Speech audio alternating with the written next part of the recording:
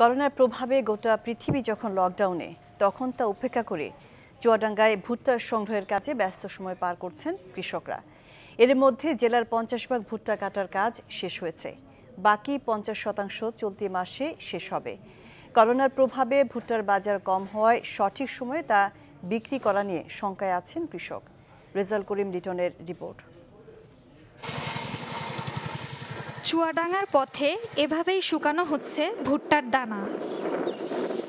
ভরা মৌসুম হওয়ায় ব্যস্ততা বাড়ছে কৃষকদেরও। জমি থেকে মোচা সংগ্রহ করে করছেন মারাই। এরপর সেগুলোকে শুকিয়ে করছেন বিক্রি। তবে কৃষকদের দাবি করোনার কারণে রয়েছে পরিবহন সংকট। তাই গেল এক মাসে মনে দাম কমেছে একশো টাকা পর্যন্ত। এমন অবস্থায় লোকসান গুনতে হচ্ছে তাদের। আবহাওয়ার কারণে ফলন হয়েছে খুব ভালো।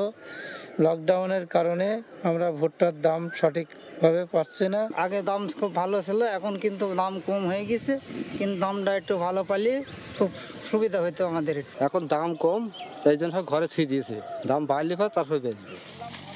দেশে বছরে মোট ভুট্টার উৎপাদন আটত্রিশ লাখ টনের বেশি, যার পাঁচ শতাংশ আবাদ করেন চুয়াডাঙ্গার কৃষক।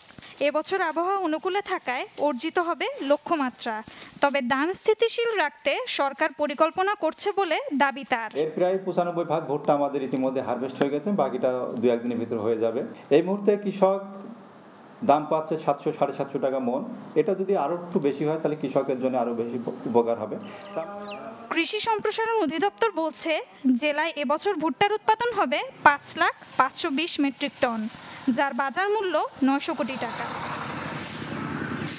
Desk report, channel twenty